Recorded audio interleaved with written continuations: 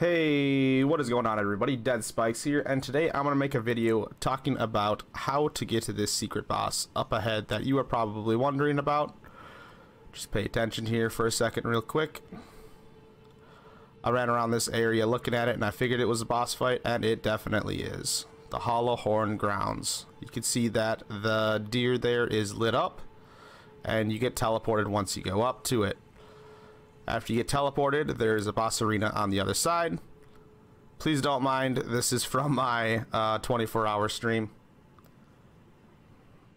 Alright, so the secret boss is just a giant reindeer, kind of like the statue you went up to. Now I'll show you how to unlock this.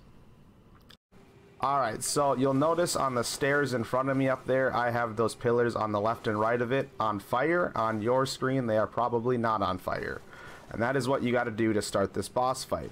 To light those on fire, they're affiliated with these things like this. When you first come up to these, they will not be on fire. You have to click a button, and then they will be lit, and one of those will correspond with it and match it and be on fire. So eight, there are eight of them around this room, and I'll show you where all of them are real quick. After you get all eight, you can just go to that statue and turn it on. So that was the first one right there. We're right next to the checkpoint that's right next to it.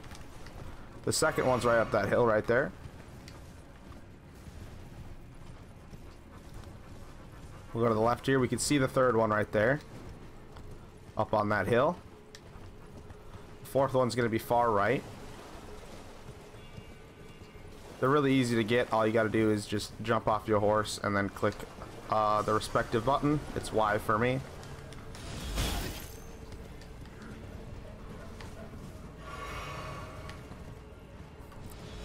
Fourth one should be up a little bit further here. There you have it up on the right, all the way up on top of that hill. That's the fourth one. We got four left.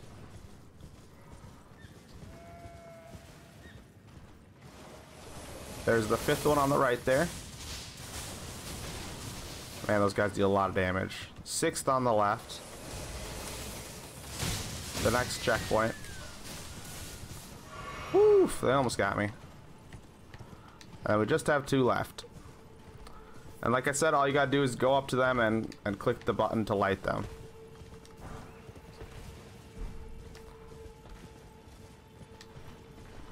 Seventh's on top of that hill on the left, if you can see right there. You just gotta jump up these rocks and get to it and the eighth happens to be right there.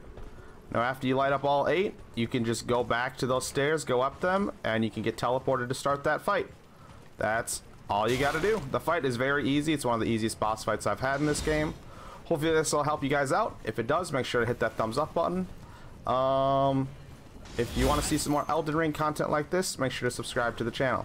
I'll catch you guys in the next one. Bye-bye. This is Zpikes out.